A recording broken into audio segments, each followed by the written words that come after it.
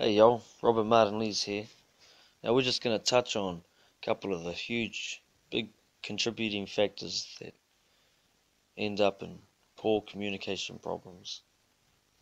Now having that one we want to build a life with, we get to use many different forms of communication gestures like touching, verbal communication, body language, along with many others that are deemed to be common. Do you use any of these in your relationship and it still feels like your communication with your spouse should and could be better? I have to guess it is, and that's why you're watching, her. The biggest downfall of failing to talk with people, especially those close to you, is not the message you are trying to relay, but usually the way it is being interpreted. We as individuals have to make sure that when we do communicate with our spouses, that we send clear signals without conflict to get our message through. To become effective with doing this, we must gain a little understanding in regards to how we say things. The prime examples, what I mean here, and this was me, and many others I have been witness to, are the common inbred statements that we include in our words. You always are. You do this or you do that. You're to blame. I blame you. You. Or you need to change this or you need to do that. This sound familiar? Now that you word is up there in regards to negative psychological power and is almost immediately triggers the receiver's defense mechanism. So if you see some similarities there, don't beat yourself up about it. This is overlooked throughout our world, but can easily be changed. I will explain the simple counteractive technique for you now.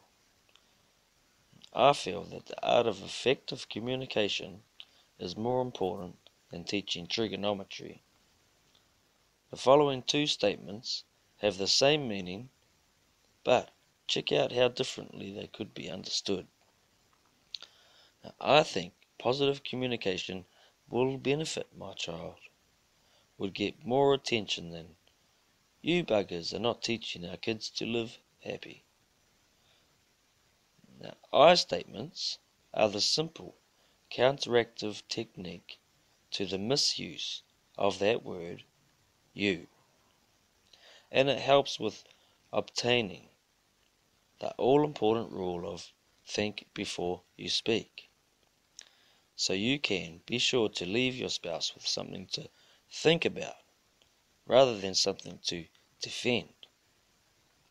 To be successful and how you communicate with your spouse, I think we need to be truthful and honest with our feelings and say what we mean and offer reassurance to the understanding of what we are trying to get across.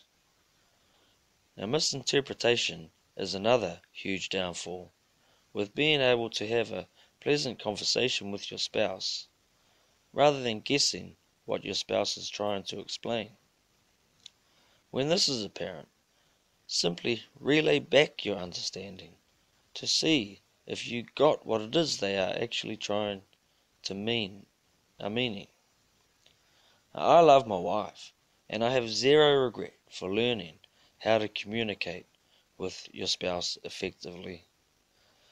Among many other soul bonding, simple love life techniques.